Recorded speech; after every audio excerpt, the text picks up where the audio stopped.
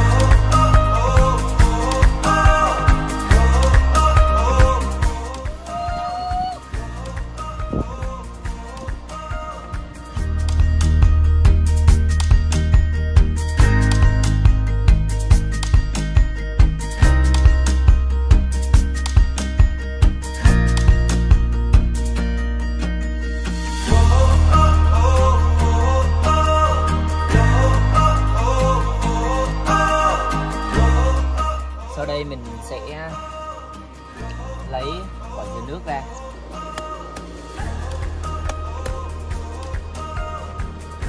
Giờ mình bóc tem.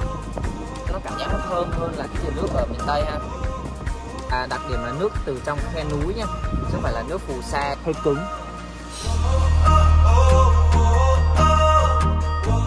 Mèo mà nó kêu quay lại mấy lần là mình thì tuyệt vời